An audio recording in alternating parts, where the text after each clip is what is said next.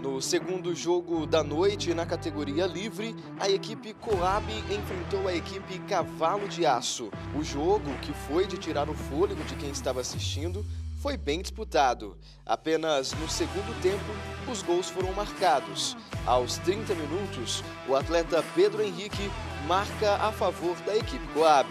Aos 33 minutos e 56 segundos, o atleta Donizete Leal marca para a equipe Cavalo de Aço.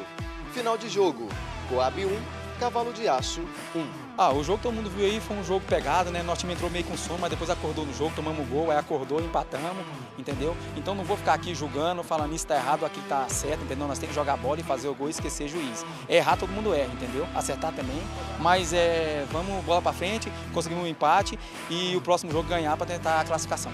Fizemos uma boa partida, tem que parar para avaliar, né?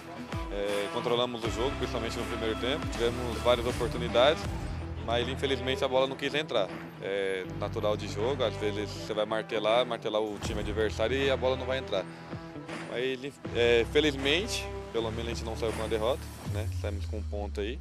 Agora é trabalhar para as duas próximas partidas para ver se a gente consegue a classificação. É, agradecer a Prefeitura Municipal, a Secretaria de Esporte, em nome do por organização do campeonato, excelente campeonato, como sempre eles fazem, mas esse campo não dá. A, gente, a gente tem que elogiar, mas a gente também tem que fazer algumas ressalvas. O campo é muito ruim, né?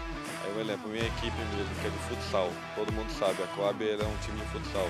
A gente coloca para participar no campeonato de campo, né? A gente espera um campo pelo menos um tapete para a gente jogar, distribuir a bola e conseguir jogar. Aqui não consegue, a bola pinga mais do que ela, ela consegue rodar, né? Mas tirando isso aí, ótimo campeonato, a arbitragem hoje escolheu uma, uma é, apitou por dois lados, né?